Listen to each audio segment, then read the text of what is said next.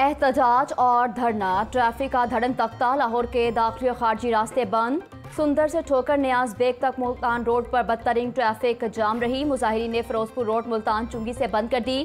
कई कई किलोमीटर तक गाड़ियों की लंबी कितारें लग गईं। एंबुलेंस को भी रास्ता ना मिल सका।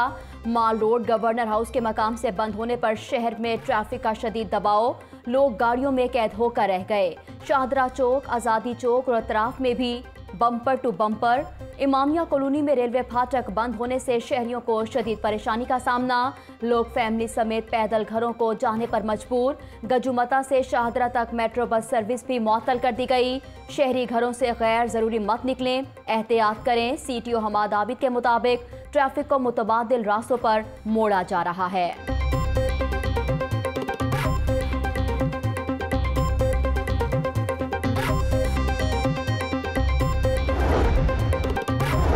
उमर शेख का फार्मूला काम करार। सबक सीसीपीओ के तकरू और तबादले मनसूख कर दिए गए। डीआईजी ऑपरेशंस ने 280 मजीद तबादले मनसूख कर दिए।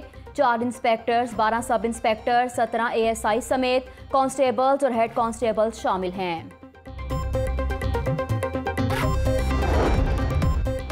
और पेपर लीक स्कैंडल में अहम पेशरफ सामने आ गई। धंधे में मुलविस एक और मुलजिम मोहम्मद अब्दुल्ला गिरफ़्तार। अदालत ने मुलजिम को पाँच रोज़ा जिस्मानी रिमांड पर एंटी करप्शन हुकाम के हवाले कर दिया। मुलजिम ने पीपीएससी के पर्चे लीक किए तफ्तीशी अफसर।